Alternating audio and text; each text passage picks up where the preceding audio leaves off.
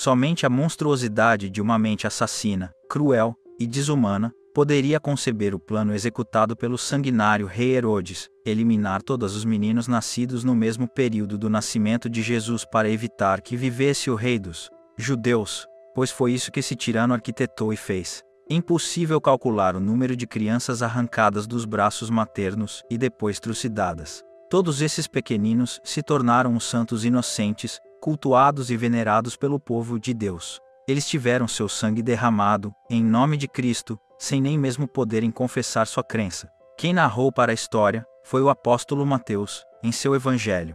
Os reis magos procuraram Herodes, perguntando onde poderiam encontrar o recém-nascido rei dos judeus, para saudá-lo.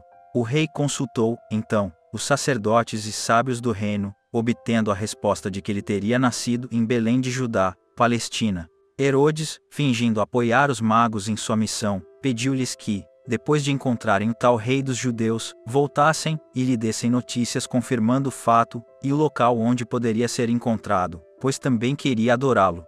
Claro que os reis do Oriente não traíram Jesus. Depois de visitá-lo na manjedoura, um anjo os visitou em sonho avisando que o menino Deus corria perigo de vida e que deveriam voltar para suas terras por outro caminho.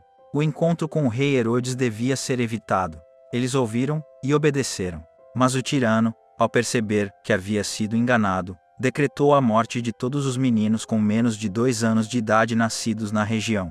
O decreto foi executado à risca pelos soldados do seu exército.